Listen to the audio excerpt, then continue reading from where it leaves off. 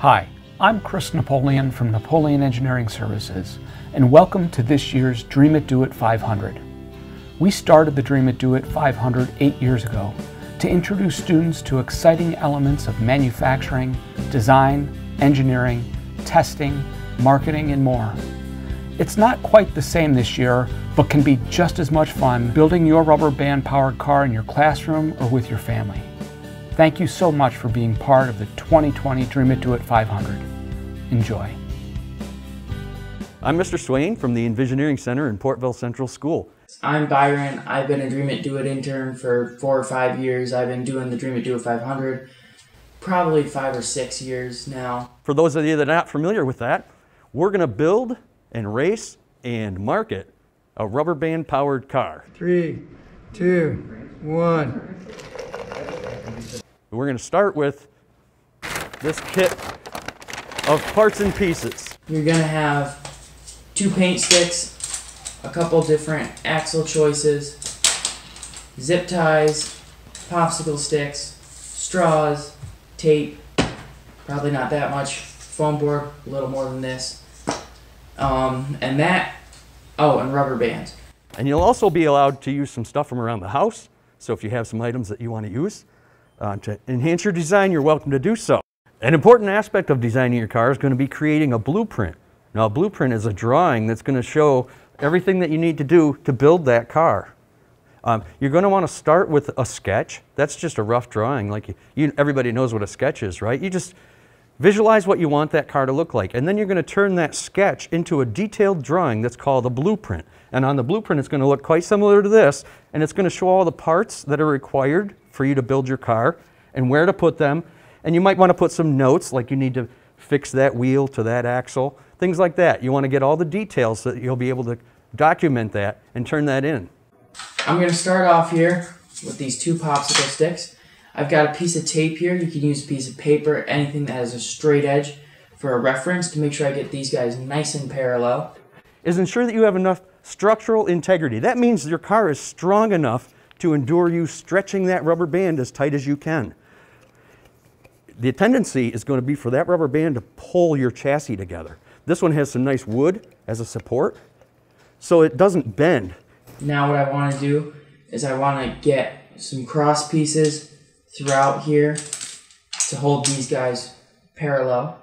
So what I'm going to do is I'm going to make sure I'm still up against my reference material here so that that's, you know, nice and perpendicular, which translates to parallel between the two. So I'm going to take this first popsicle stick here, making sure that I'm parallel. I'm going to grab a strip of tape.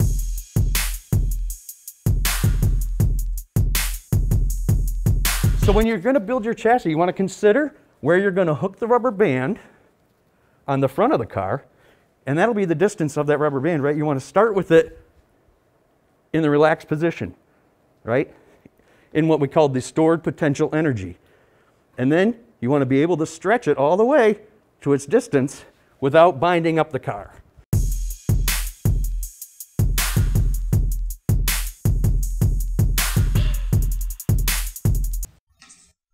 You got a framework there. So now that you got this, don't use it as a ladder. You're going to move on to getting your axles on. The axle is going to be this rotating part Okay, now the axle is going to need to be able to spin, right, freely. So there's going to be places where it's fixed and places where it's free.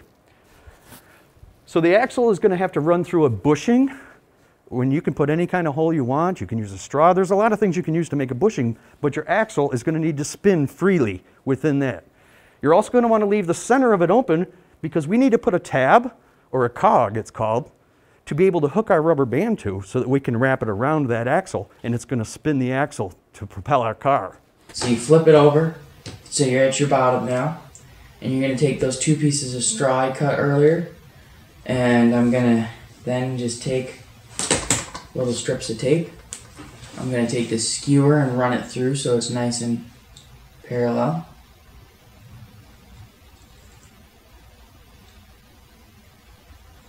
And once we got those through, making sure we're nice and parallel, you're going to tape it down.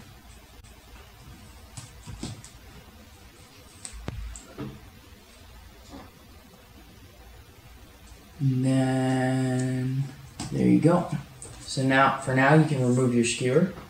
Our back axle, we're going to take our zip ties and we're going to connect them through themselves. And I'm going to be using this with uh, my cut wheels. So this is the thicker dowel. Zip ties here, cinch them down. Not so much that it can't spin. So you see how this is still spinning. So I'm going to bring it in a little tighter just so it's you know nice and controlled. But you'll see it's still spinning and still free hanging there. And so you're going to do that twice. And what's really important here is to make sure you keep their rotation the same. So if you'll notice, it comes from this side, goes up around and then down. So what I don't want to do is I don't want to flip that around so that it comes from this side up around. You want them to be facing the same direction. And so then just get that cinched down there. And so here you go, you've got your two pieces now. And now you're gonna wanna come on the top here and you're just gonna butt this right up against your the back of your sticks here because that will keep you nice and parallel and it'll also help when you have it on the top this won't pull down. That's a mistake I've made in the past. So you can take that to heart. You can see on the model, he's used some zip ties to make what's called the bushing, right? On the axle, the, the wheels are taped onto the axle so that they cannot spin freely on the axle. But the axle can spin freely within the bushings. Now that we've got our two axles done, we're going to now need wheels, obviously. So I'm going to go through how to make a wheel. So you're going to want to take your cart or your foam board here, and you're going to want to find something circular about the size you want to make your wheels. So you're going to want to trace that out. I'm going to try and get that to reflect. I don't know if it's going to come through on the camera. But once you got that done, your goal is to cut as circular of a wheel as you can.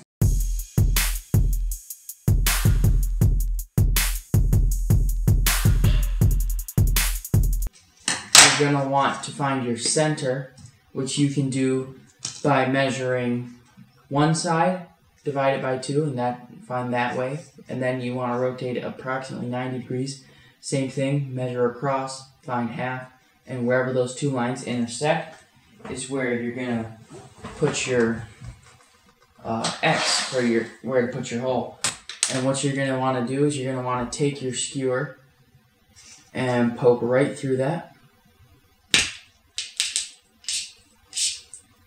And then you can see you've got a fairly centered wheel there. Alright, so this I'll just leave on as one of our front wheels. So you're just going to take this, slide it through your two straws, and then pop it on there. Front axle, we have a much smaller diameter than our back axle, and since we used our front axle skewer to poke these holes, we're going to have to make them bigger. So you just want to take it, go into the hole, and just twist it about until you're at about your desired diameter. And do that from both sides. These places where the, the wheels are fixed is going to be really important because the axle is going to want to spin within the center of the wheel, or the hub it's called. So you can glue that, tape it, whatever you want to do, but you need to ensure that that wheel is firmly fixed to the axle and that the axle can spin freely within what's called the bushings. Okay? Now to keep our wheels nice and vertical, because you might be able to see our wheels aren't exactly all straight here. It's going to be very important that the wheels are straight with the axle or perpendicular. So that's why it shows here it's 90 degrees, okay? The easiest way to do that would be to measure between the wheels in the front and between the wheels in the back and ensure that you hook them or fix them to the axle with, with some kind of means that's going to keep them straight or perpendicular to the axle. And take a little piece of tape on one side and then just twist it around. And once you've got that all twisted up, you just pull it in and then do the same thing on the other side. Make sure to keep it nice and vertical during this because this is the angle you're going to lock it in at. One of the things you're going to want to consider is see this gap right here? This is the distance between the wheel and the bushing. If that gap is too large, your axle will be able to shift too much in one direction or the other. If it's too tight, it's going to cause friction and slow your car down. Here's something that you will have to do is your axles here, they're going to be sliding all about and yeah. So you don't want that to happen. So same thing we did with the wheels here. You're going to come right next to wherever your axle mounts. So you see this one mounts right here at this straw. So you just want to make it a little thicker so it can't pass through that straw. We want this car, our objective this year is to go as far and as fast and as straight as possible. So those are the things we're going to have to do. So we're going to start with a rubber band, okay? A rubber band has what's called energy in it, right?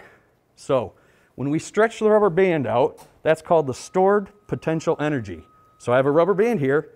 This is called stored potential energy. We want to transfer that into a force that's going to power our car down the track. So when we stretch that out, we take that stored potential energy and we turn it into what's called kinetic energy, or that's energy in motion. And when I shoot that rubber band, that was energy in motion. We're going to transfer that to our car. And the way we're going to do that is we're going to wrap it around the axle. Okay, the axle is where the wheels hook, and it's going to turn around. And when we make a rotating force, that's called torque.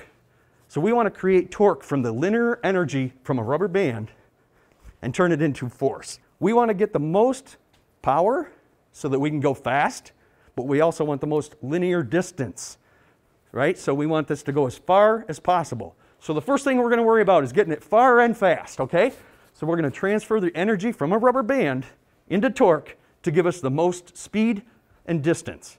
Now we can do that different ways. If I take one rubber band and I check how, how much force it takes to stretch that three inches, it takes three newtons of force. That's the energy that's in that rubber band.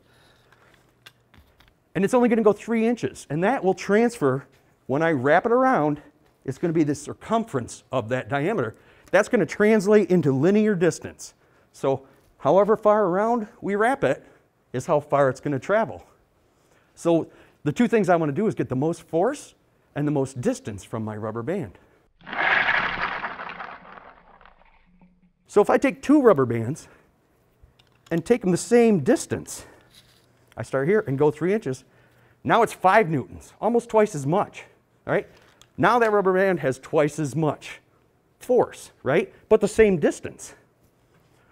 I'm also able to take and hook them together this way and increase the length, right? And when I increase the length of a rubber band, it's the same rubber band. Now it travels twice as far. So what you're going to want to do when you're building your car is keep that all in mind, that you want to get the most force and the longest distance from the power that's in your rubber band. If I just put one of these rubber bands on, you know, it's all right, and then I, but you see, I'm already under a lot of tension here. And so what I'm going to do is I'm going to wind it up backwards. So you want to wind it like your car is rolling in reverse. So if your car rolls that way, when you're going backwards, then that's the way you want this to go. And you twist it up. But see what's going to happen here is it's just to spin right out. The number of revolutions is going to translate into what's called linear distance. So the bigger your wheel, because it's the circumference of your wheel, if it's bigger, that will translate into a longer distance. So if you have bigger wheels, your car's going to go farther, but it's more mass, so it's going to reduce the force. So you want to find a balance between the force and the linear distance to get your car to go as far and as fast as possible. If your wheels are too small, you'll have a lot of force. It'll go fast, but it won't go very far. If your wheels are too big, your car can go really far, but it's going to lose force. So you got to find a balance to get the right size wheel. And that'll take some experimenting on your part. So, what you really want to do when it comes down to rubber band is you want it to be to be a little longer. This is a bit excessive. What you might have wanted to do instead is add in one of the smaller rubber bands here, you know, or if you had hooked up up here, maybe this one would make more sense. But you want your rubber band to be longer than like from where you're mounting it to your axle. That way you can put it under less tension and still move. Once you're happy with your design and the build of your car, it's time to go to the track. On the track, we're going to see how far, fast, and straight we can go. So we want to come to the test track and prepare our car. We're going to wind up our axle.